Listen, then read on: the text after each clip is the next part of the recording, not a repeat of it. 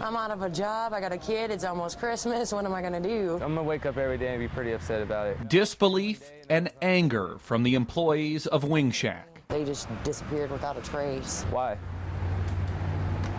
I mean, seriously, like, no morals, no heart. Employees of Wing Shack were told they were going to be closed on Sunday because the floors were going to be redone. But come Monday, Wing Shack was still closed. So the manager got the landlord to let him in. And what they found inside was startling. All these walls had beer signs and uh, And this all this all was you left what on Saturday, I guess. Saturday. So you're here on Saturday. All this stuff was up. yeah, And all of it was You uh, came back Monday and it was all it was gone. The inside had been gutted, It's gone. Everything's gone. The food's gone. All the cooking equipment's gone. and owner Scott Taylor was nowhere to be found. Like, oh my God, I can't believe they did this.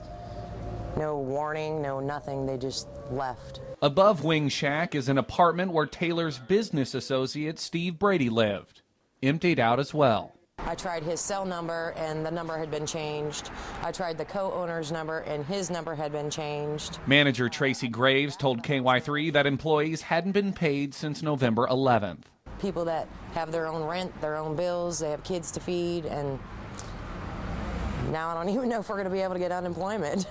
William Miller said his paycheck was more than just about bills. You know, that was the paycheck to pay for my son's Christmas. As former waiters, bartenders, and cooks scour the mess left behind, they had two big coolers here. All of our fryers were there. they can only wonder why. If you could talk to Scott or Steve, you know, what would you say?